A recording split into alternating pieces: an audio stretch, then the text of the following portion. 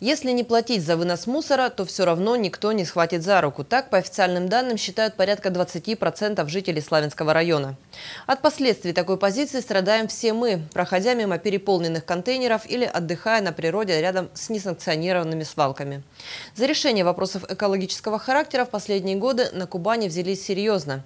Тему сбора, хранения и утилизации бытовых отходов рассматривали на прошедшей на днях сессии Совета Славянского района. На повестке 33-й сессии районного совета значилось более 10 вопросов. Но самым основным и острым стал вопрос о выполнении требований законодательства в сфере обращения с твердыми бытовыми отходами в Славянском районе. Основным докладчиком выступил заместитель главы района Александр Бельдиев. Всем известно, что на территории района действующих свалок, куда разрешен сброс мусора, нет. Забирают мусор у населения две компании «Чистый город», которая осуществляет вывоз ТБО на полигон в Красноармейской, и «Экосервис», которая пользуется экологическим полигоном, расположенным в Славянске. Хотя эти полигоны и имеют разрешение на работу, назвать их полноценными нельзя. Единственный полигон на территории края, который удовлетворяет всем стандартам, расположен в Новороссийске. Но законодательное собрание края сейчас работает над этим вопросом. Силами муниципалитета построить полигон, который бы отвечал всем требованиям э, как экологического, так и строительных норм, практически ни, ни один муниципалитет не в состоянии его построить.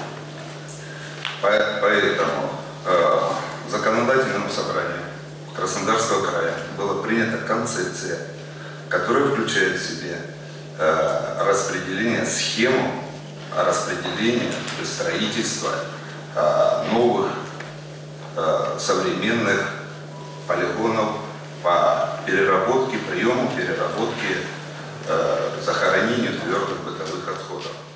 По задумке авторов закона, полигон для вывоза отходов из Славянского района будет расположен в Крымском районе, станице Варениковской, где будет предусмотрен весь комплекс мер по утилизации и захоронению отходов.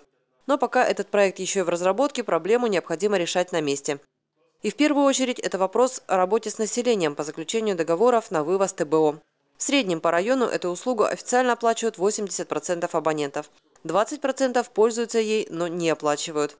Как следствие, образование стихийных свалок, уборка которых ложится дополнительным бременем на бюджеты поселений. На территории муниципального образования Славянский район ликвидировано 4 свалки. В Кировском, Черноерковском, Целина и Голубая, Голубая Нива, сельских поселениях. Также за 2017 год силами администрации поселений муниципального образования Славянский район выявлено и ликвидировано 372 стихийных свалки. А еще, как нам пояснили в компании «Чистый город», бесплатный вывоз мусора в контейнеры приводит к проблеме, которая волнует каждого. Перенакопление на контейнерных площадках, потому что то население, которое не оплачивает мусор, они вывозят это все на контейнера, и, соответственно, а расчет мы делаем от э, количества проживающего населения заключенными, по заключенным договорам. Допустим, если где-то в многоквартирном секторе стоит контейнера, соответственно, график уборки рассчитывается из заключенных договоров на эту точку. И, соответственно, если какой-то несанкционированный туда вывоз, э, это приводит тому, что переполнение контейнера и вот такая вот некрасивая ситуация просто на контейнерной площадке. Много вопросов и предложений вынесли на обсуждение сессии главы поселений, присутствующие на ней, и сами депутаты районного совета. От вопросов касательно неполного забора мусора на площадках, кончая возможностью установки камер наблюдения в местах выноса мусора.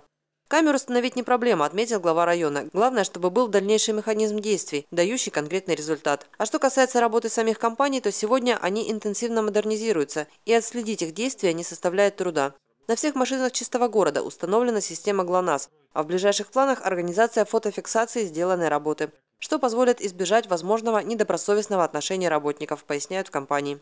Глава района заострил внимание участников сессии на вопросе о наведении порядка на территории контейнерных площадок. ТБО с этих мест забирает мусороуборочная компания, а крупногабаритный мусор и ветки машины социальных центров поселений. А вот кто должен убирать после себя, остается открытой темой. К тому же пока с места не двигается проблема с единообразным и функциональным обустройством мест сбора бытовых отходов. Сами площадки, мы с Борисовичем говорили, то есть над ними тоже надо работать. Остановки потихоньку в, городе, в городе видите, да, вот мы инвесторов вовлекаем, где-то какие-то остановочки преобразовываются, где-то новые строим. То же самое контейнерные площадки.